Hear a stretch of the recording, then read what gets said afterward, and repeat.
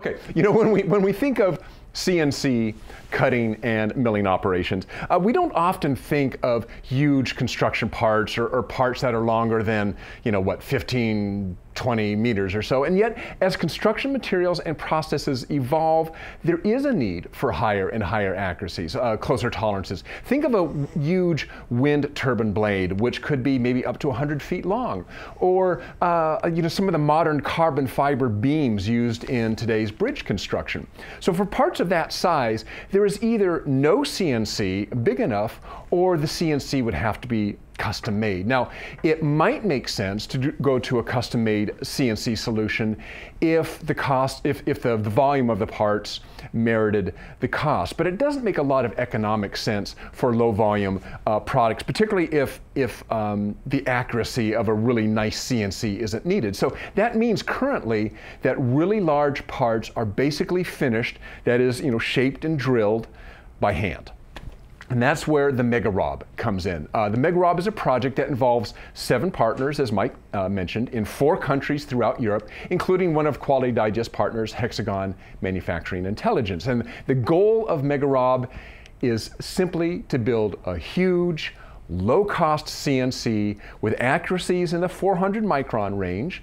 And by huge, I mean a 100 meter CNC. That's a 300 foot long CNC, longer than a football field, and it could be installed anywhere. It doesn't need any kind of special environment. Now, Joel Martin of Hexagon Manufacturing Intelligence explained MegaRob to me at a recent Hexagon Live show in Anaheim, California.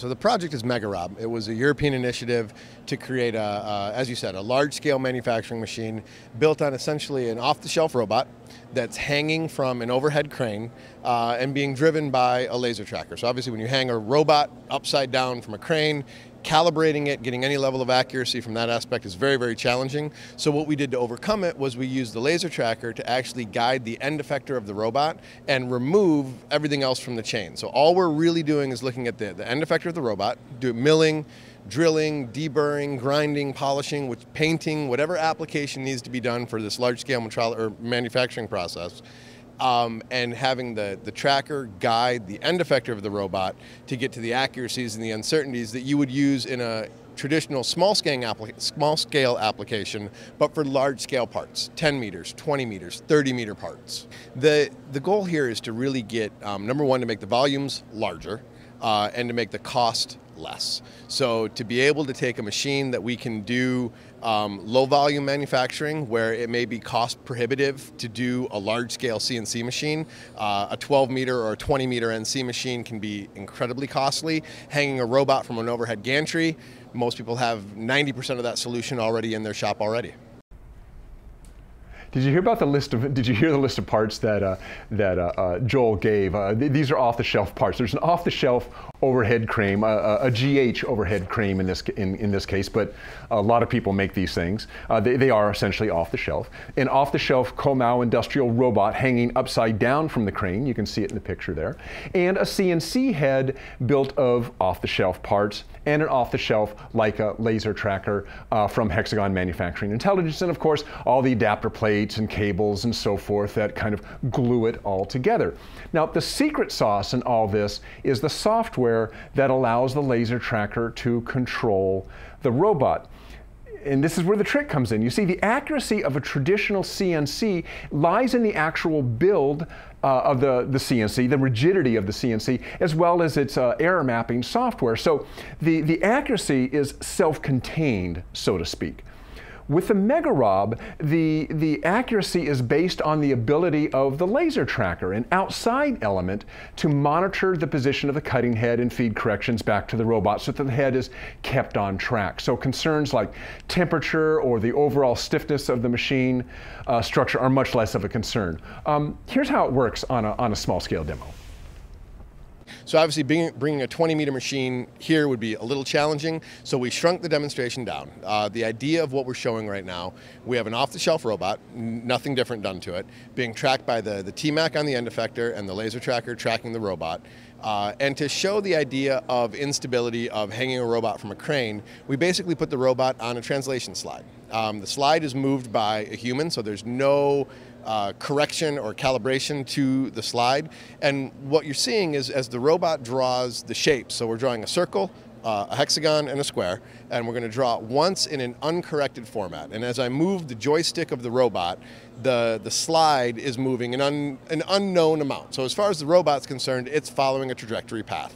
And as you can see, the shapes are now skewed because the robot base moves, the robot program is uncorrected, so it draws a shape that isn't looking like what the shape should look like. When we rerun the program and we use the laser tracker to drive the end effector, you can see the base of the robot still moving, in an, un, an, unknown amount, but now the end effector of the robot is being corrected by the laser tracker in real time at 1000 hertz, and what we end up with is shapes that are correct. So regardless of where the base of the robot is, regardless of if the robot was hanging upside down from an overhead crane with temperature variation, vibration, swaying in the wind, the end effector is doing exactly what we're telling it to do in a precision path. Well, that was a small scale demo, and demos always work great, right? That's why they're demos. But how well does the actual machine work? Well, you heard Joel say earlier that the current Megarob, which is still in development, is about 20 meters long. So what is that, 64, 65 feet? Long enough to machine uh, a composite part for, say, a bridge which a company called Acciona did. Uh, it looks something like this one. This is a, a composite footbridge built by Acciona in Madrid. It's a typical construction of most of Acciona's composite bridges. The beams that make up the bridge are similar to a bridge piece that was just machined by the Megarob for Acciona, and we can see it here. This is a, a 12 meter by 1.5 meter by 2 meter composite beam built of carbon fiber, and we can watch here as it's being cut on the Megarob, if we have that, if we can run that little clip. Uh, yeah, in the, in the past, after layup, this piece would have taken about 20 hours of manual cutting and drilling with hand tools to get to the needed tolerances. With the Megarob, it only took six hours. So we're talking roughly three days on the, on the site versus one day on the site to get these same accuracies. Now, as for accuracy, in the past, the finish tolerance on the contour, on the shape, was about 12 millimeters or, or half an inch. With the Megarob, the finish tolerance was 300 microns or about one hundredth of an inch. In the past, hole positions were within four millimeters, so a seventh, eighth of an inch. With the Megarob, hole positions were held to within 50 microns. That's two thousandths of an inch.